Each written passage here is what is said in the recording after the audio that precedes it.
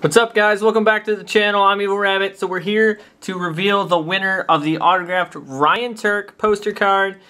So we got the computer all set up. We got our link in on our random comment generator. It's seven people were available for this. So we're gonna hit start and it's gonna randomly select the winner.